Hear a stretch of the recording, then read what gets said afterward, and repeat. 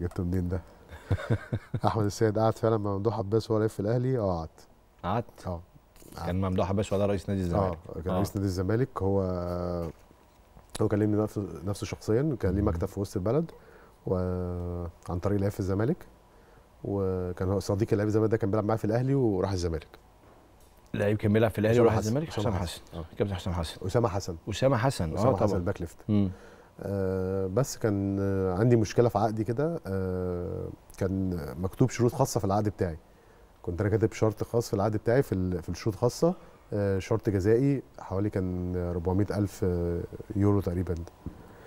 كان اتحاد الكوره مانع إن تكتب أي شرط جزائي في في العقد أو أي شروط خاصة ما تكتبش فيها أي حاجة. مم. فقال لك لازم العقد من اول وجديد تمام. هو عارف المعلومة كلمني آه أنا يعني ما كانش عندي استعداد إن أروح لأن أنا ابن النادي بس أنا بحترم الناس إن أنا حد يكلمني لازم أروح له.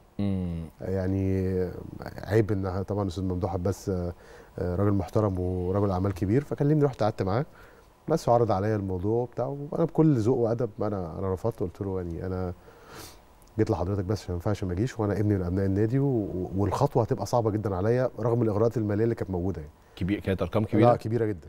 كبيره كبيرة جدا ولا كبيرة بس؟ يعني كبيرة لما رحت أنت حسبتها قلت إيه لا أنا مش هخسر الأهلي قدام الرقم ده. لو كان رقم كبير جدا لا. كان كبير جدا بالنسبة للمعروض عليا في الأهلي. آه.